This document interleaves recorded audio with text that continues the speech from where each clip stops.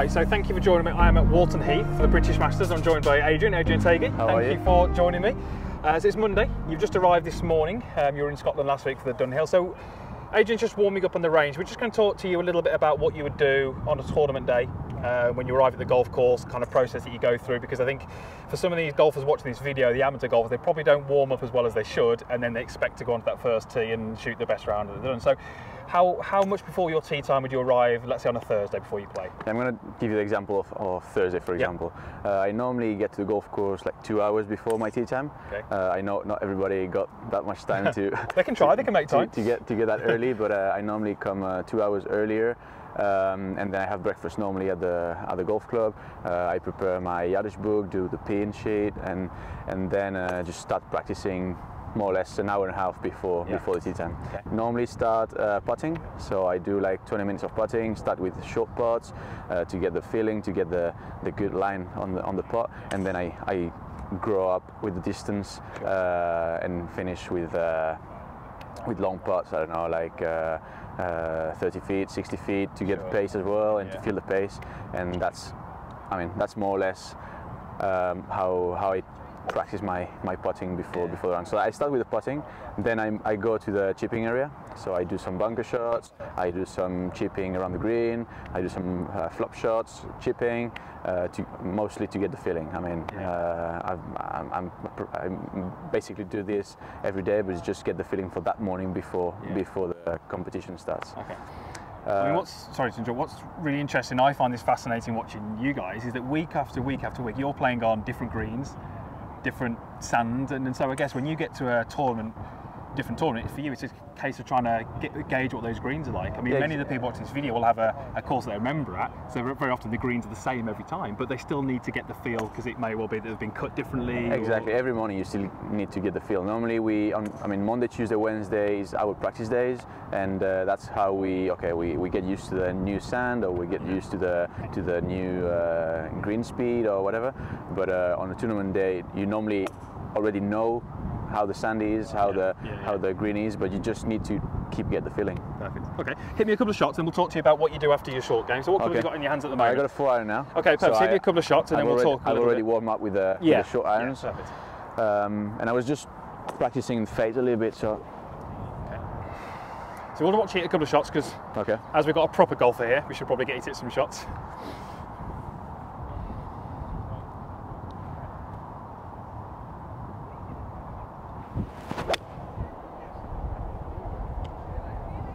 Okay. So if you hit a couple more, but we'll go through kind of. So once you've done your your putting uh, and your chipping, you then move on to the driving range as we are here. After my chipping, I normally come to the driving range. That's Okay. probably between 45 minutes and, and an hour before my tee time. Okay. And uh, and I start warming uh, again with uh, with the short clubs. So I start with a 58, do some chipping, start, start do some shots like 50 yard, Yeah. then move up like a full 58, which is like 90 yards, uh, and then just move up. Normally do some nine irons, six irons, four irons, and some some three irons. Yeah. Um, basically, it's the same again to, to get the feeling. Yeah. Uh, I don't do, I don't normally do too much uh, technique work because I mean if I'm on a tournament day I'm supposed to to be okay technically. Yeah. So just uh, get the feeling, uh, work on some trajectories, uh, maybe visualize some holes on the Yeah, course yeah. to try to okay what would, what would I hit on number one? So maybe a driver. So I try to I try to uh, visualize that shot on the- like the first first two three holes. Yeah. Uh, so once you you get to the first tee, you you're already like in the tournament. Yeah, you yeah. don't get there and oh what what do I do now? Yeah, like yeah, uh, sure. yeah. Well, I think you know I, I see a lot of golfers um, who try and go to the golf course and they try and do the right thing, as in get there maybe an hour before the tee time and practice. But I see too many golfers making swing changes. 20 minutes before they go and play, and you wouldn't do. I mean, what we're saying here is you're really trying to get a speed, feel for the green speed. Um, what's the sand like? You know, trying to get comfortable with hitting the clubs, different trajectories, no swing thoughts. The there? objective of that that morning of the tournament is just get ready for the tournament. Yeah, so up, so just do the best things you, you can do to get ready for the tournament. Yeah. Nobody cares about about your swing or No, about. no, no. It's just about okay how how I want to hit the ball Yeah. uh, and how I want to visualize the shot I want to hit and, and to get ready to hit the, well the, the next shot you have to do. Okay. All right, so let's hit, hit a couple more shots.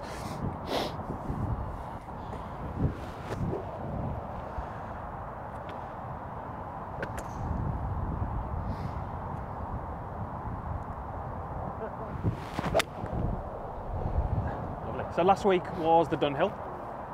Very different conditions that week than what you're normally used to. So pre start of the week, Monday, Tuesday, Wednesday, did you do a little bit more on trajectory work? Did you feel you had to change the flight of the ball a little bit based on the conditions of the wind? I mean, the Dunhill Links is always a different week, and you, you play three different courses. Uh, the rounds are long because you play with the amateurs, and Yeah. uh, it's always it's always a like a different week. It's very cold. Last week it was Yeah, was- it was saw ve- this very cold yeah. as well. So I only only traveled to Scotland on, on Tuesday. I knew the courses already, Yeah. so I just prepared it on on the yardage book, and. Um, and yeah, just just try to. I mean, obviously the, the, the rounds are long. It's a long Yeah, week. yeah. That's why I didn't I didn't get to the to the Sure. to the country that early.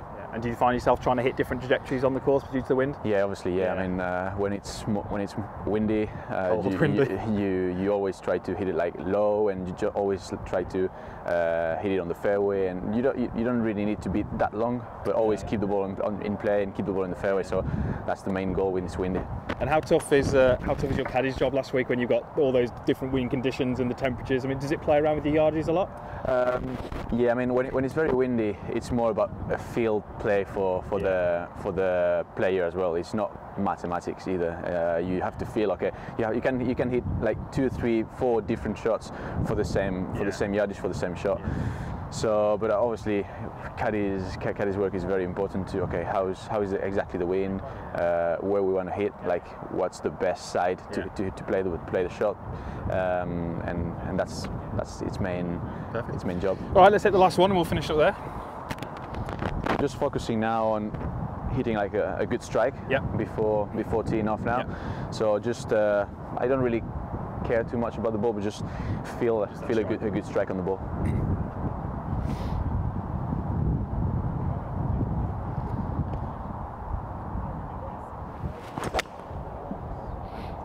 So that was a good strike, a good ball as well. So Yeah. So I think the real the real message I'd like to get across to the people watching this is it's, it's really key that they get to the course and get ready for their round.